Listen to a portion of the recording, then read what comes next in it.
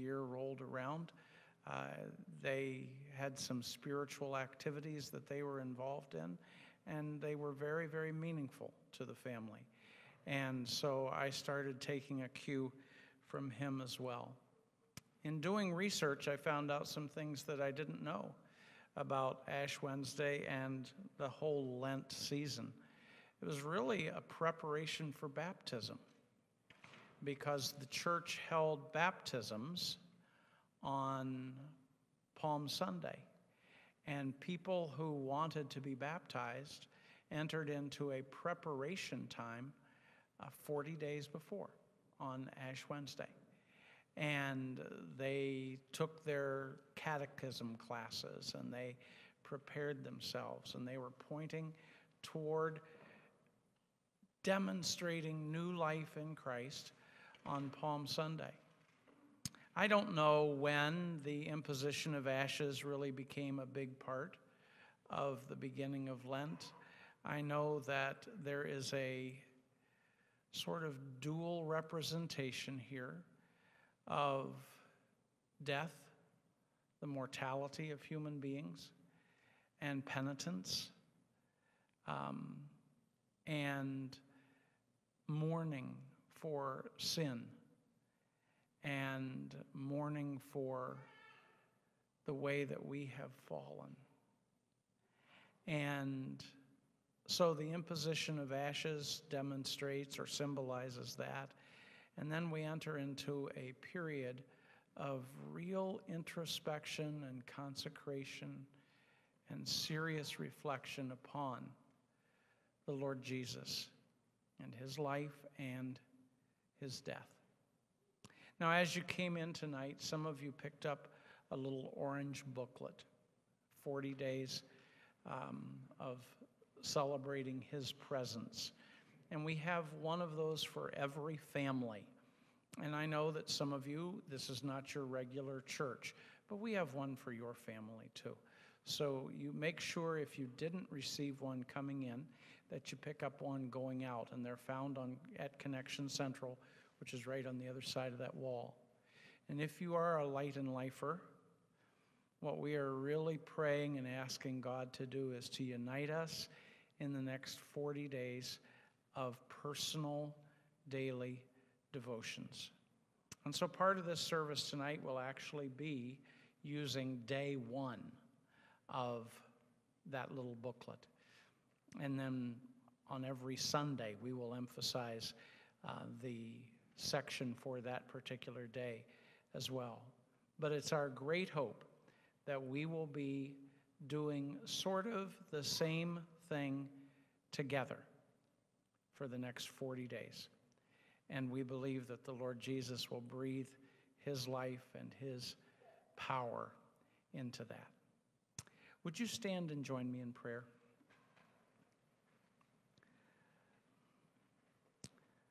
O Lord our God, thank you for being here. For you are. You have promised that if even two of us gathered together in your name, you would be there. We are many more than two. And we have come here tonight in the name of our Savior Jesus. And Lord, we have come here tonight to begin a holy time of introspection, of devotion, of concentration upon you. If this were really the last several weeks of your earthly ministry, then everything would be pointing toward the cross.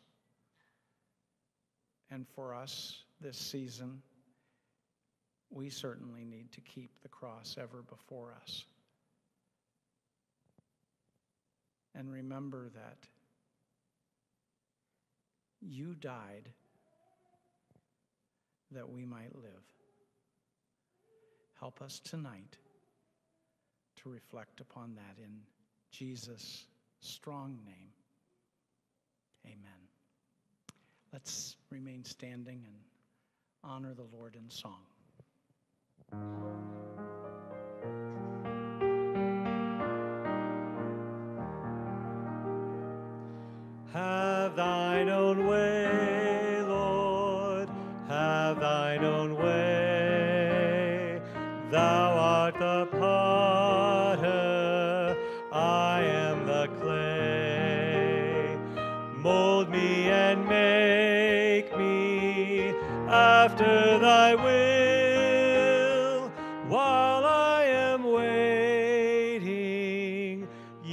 Yielded and still.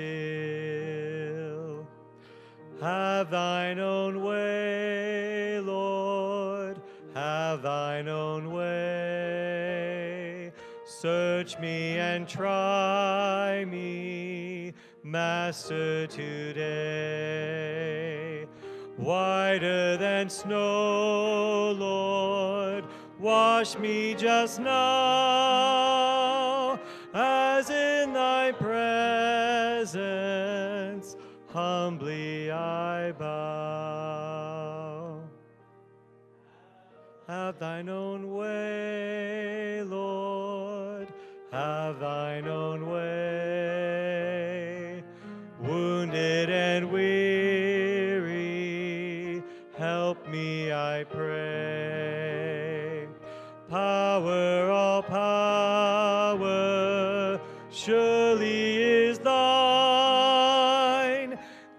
Teach me and heal me, Savior divine. Have thine own way, Lord, have thine own way. Hold o'er my being absolute sway. Fill with thy spirit can see Christ only always living in me.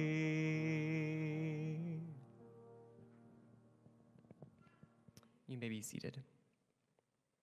Dear brothers and sisters in Christ, the early Christians observed with great devotion the days of our Lord, his passion, and his resurrection. And it became the custom of the church that before the Easter celebration, there should be a day, a 40 day season of spiritual preparation. During this season, converts to the faith were prepared for holy baptism. It was also a time when persons who had committed serious sins and had separated themselves from the community of faith were reconciled by penitence and forgiveness and restored to participation in the life of the church.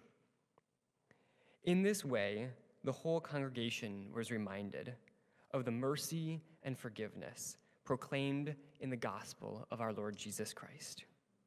And all, or sorry, and the need we all have to renew our faith. I invite you, therefore, in the name of the church, to observe a holy Lent. By the self examination and repentance, by prayer, fasting, and self denial, and by reading and meditating on God's holy word, to make a right beginning of repentance, and as a mark of our mortal nature. Let us now kneel in spirit, respectful from our core to our Creator and our Redeemer. And let's come together, worship and bow down the Lo- to the Lord as we worship through this next song.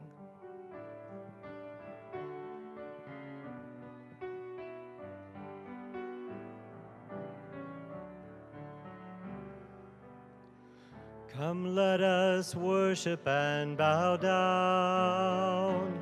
Let us kneel before the Lord our God, our Maker.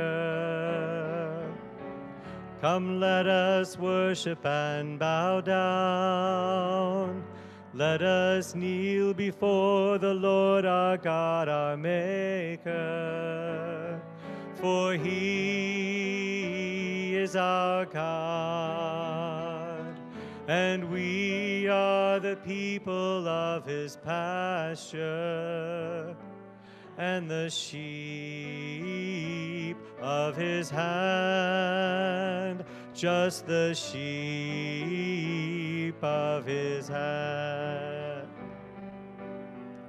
Come, let us worship and bow down. Let us kneel before the Lord our God, our Maker. Come, let us worship and bow down. Let us kneel before the Lord our God, our Maker. For he is our God, and we are the people of his pasture and the sheep of his hand, just the sheep of his hand.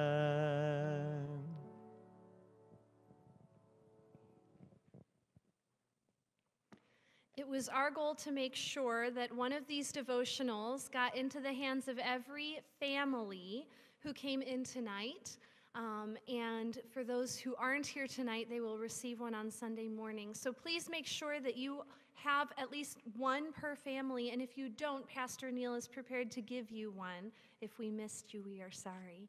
But we are calling each one of us who is worshiping at Light and Life to uh, use this guide during daily devotionals um, at, during this season of Lent. And so we encourage those with children to do it with their children, uh, teenagers, do it with your teenagers, do it together as a family. Those who are single, do it on your own. You find a find a time of day that works best for you.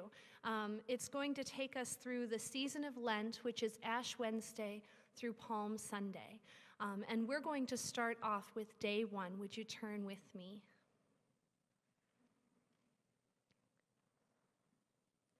Taste and see that I am good.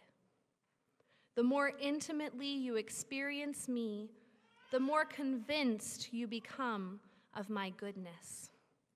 I am the living one who sees you and longs to participate in your life. I am training you to find me in each moment and to be a channel of my loving presence. Sometimes my blessings come to you in mysterious ways, through pain and trouble. At such times, you can know my goodness only through your trust in me. Understanding will fail you, but trust will keep you close to me.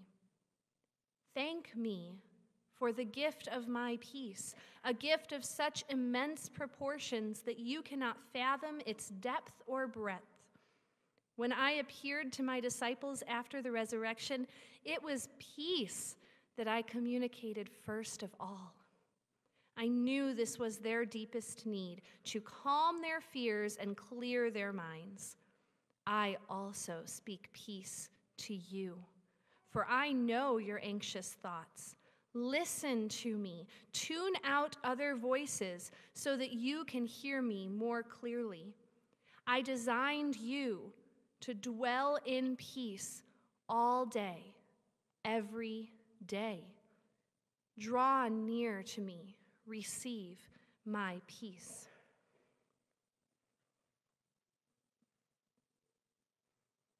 Let us meditate on the words of Psalm 34. You can follow along or just close your eyes and, and listen to it. Psalm 34, verse 8. Taste and see that the Lord is good. Blessed is the man who takes refuge in him. And the word of the Lord from the book of Colossians, I'm going to read more than what is in your devotional. Chapter 3, verses 1 through 17. So if you have been raised with Christ, seek the things that are above where Christ is seated at the right hand of God. Set your minds on things that are above, not on things that are on earth. For you have died, and your life is hidden with Christ in God. When God, who is your life, is revealed, then you also will be revealed with him in glory. Put to death, therefore, whatever in you is earthly fornication, impurity, passion, evil desire, and greed, which is idolatry. On account of these, the wrath of God is coming on those who are disobedient. These are the ways you also once followed when you were living that life. But now you must get rid of all such things anger, wrath, malice, slander, and abusive language from your mouth. Do not lie to one another, seeing that you have stripped off the old self with its practices and have clothed yourself with the new self, which is being renewed in knowledge according to the image of its creator. In that renewal, there is no longer Greek and Jew, circumcised and uncircumcised, barbarian, Scythian, slave and free, but Christ is all and is in all. As God's chosen ones, holy and beloved, clothe yourselves with compassion, kindness, humility, meekness, and patience. Bear with one another, and if anyone has a complaint against another, forgive each other, just as the Lord has forgiven you. So you must also forgive.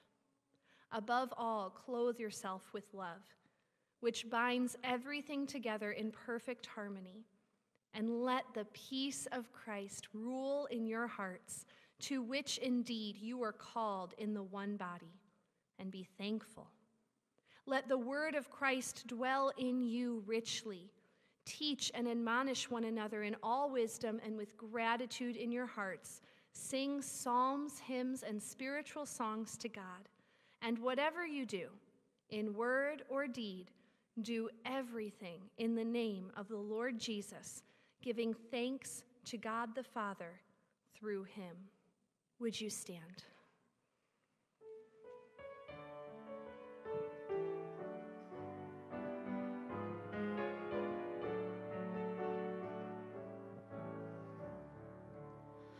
Great is thy faithfulness, O God my Father. There is no shadow of turning with thee. Thou changest not thy compassions, they fail not. As thou hast been, thou forever wilt be. Great is thy faithfulness, great is thy faithfulness. Morning by morning, new mercies I see. All I have needed, thy hand hath provided. Great is thy faithfulness, Lord, unto me. Summer and winter and springtime and harvest, sun, moon, and stars in their courses above, join with all nature in manifold witness to thy great faithfulness, mercy, and love. Great is thy faithfulness, great is thy faithfulness. Morning by morning, new mercies I see.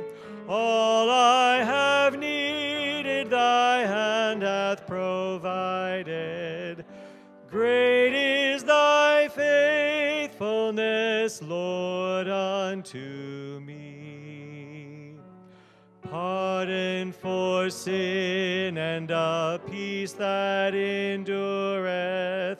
Thy own dear presence to cheer and to guide. Strength for today and bright hope for tomorrow. blessings all mine with ten thousand beside. Great is thy faithfulness, great is thy faithfulness. Morning by morning, new mercies I see. All I have needed, thy hand hath provided. Great is thy faithfulness, Lord, unto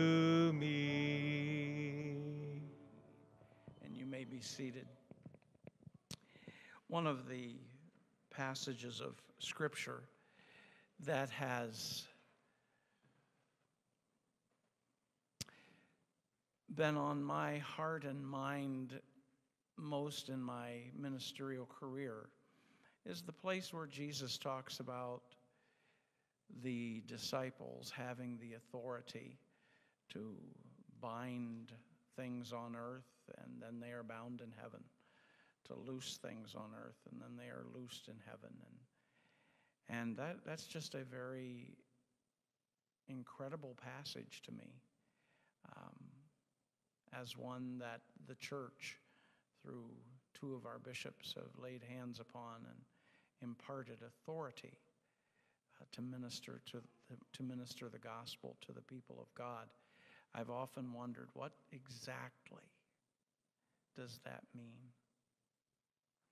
And one of the ways that God has allowed me to, I think, live that out in pastoral ministry has been through the Ash Wednesday services that I have led. In just a moment, you will have the opportunity, and we'll start right here with the front row and just move that way. And this set of altars here, that's where I will be. And if you would like to have the ashes placed upon your forehead, would you hold your hands like this, and then I will know. And if you would not like to have the ashes placed upon your forehead, if you will hold your hands closed like this, then I will know that as well. But one of the things that I hope to do is to pronounce a blessing upon each and every one of you, no matter your age, no matter your, your uh, how well I know you or how little I know you. I have been asking the Lord to prepare me that I would be able to pronounce that blessing upon each and every person who comes to that altar. And it's not like Abraham. I'm not going to speak a word of prophecy over my 12 sons. It's nothing like that. But it is something like that. Because I'm asking the Lord to tell me, have been asking the Lord to tell me, what do I say over each and every person who comes forward? So after kneeling at this altar or sitting in the chairs at the end, whichever works best for you, then you will proceed directly to these altars or to this altar where Pastor Neil and Pastor Beth will be serving the sacrament of the Lord's Supper to you. And we always do at least a portion of the communion ritual when we celebrate the sacrament. And so I'd like to ask you now if you would join me in the prayer that the Lord taught us to pray. Our Father, which art in heaven, hallowed be thy name. Thy kingdom come, thy will be done in earth as it is in heaven. Give us this day our daily bread, and forgive us our debts as we forgive our debtors. And lead us not into temptation, but deliver us from evil. For thine is the kingdom, and the power, and the glory forever. Amen. You who truly and earnestly repent of your sins, who live in love and peace with your neighbor, and who intend to live a life devoted to Jesus Christ, you are invited to the Lord's table. On the night of his betrayal, Jesus took the bread, And after giving thanks, he broke it and gave it to each of his disciples, saying, Take and eat. This is my body, given for you. Do this in remembrance of me. And in like manner, after supper, he took the cup, and when he had given thanks, he passed it around to his disciples, saying, Take this and drink. This is my blood of the new covenant, which is given for you and for the many for the remission of sins. The table is open. Will you come?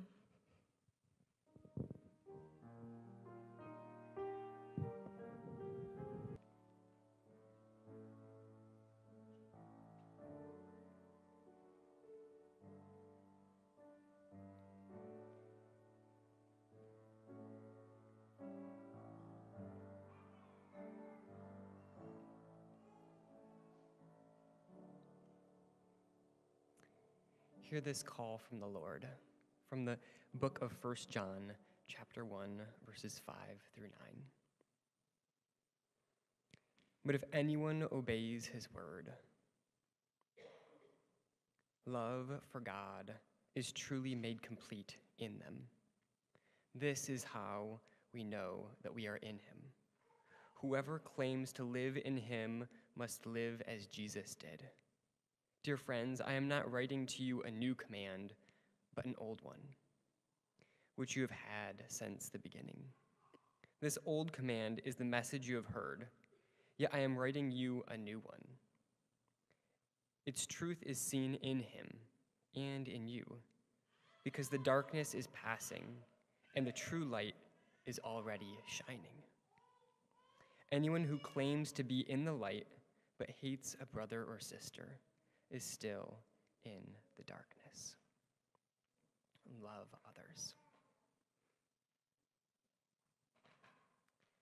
You can join with us as we sing one final song.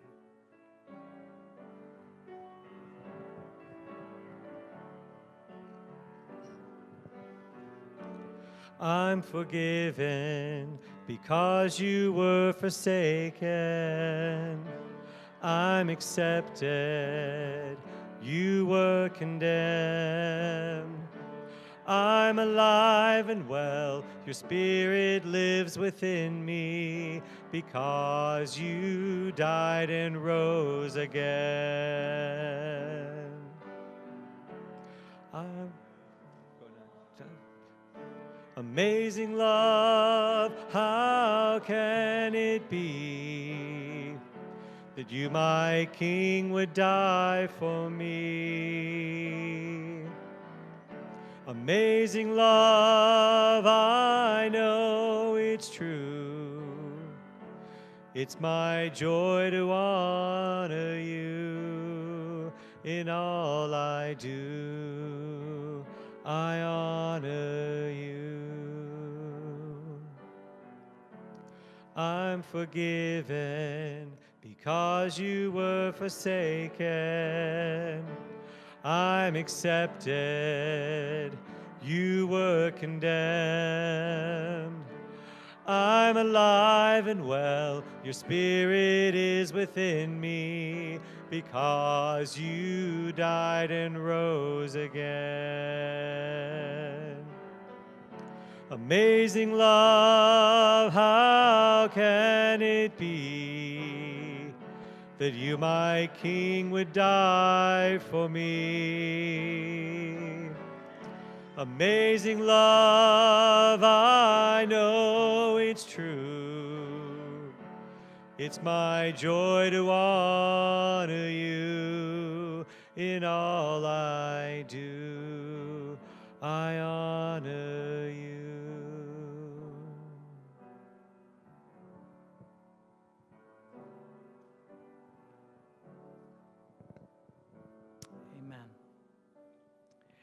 These words of benediction.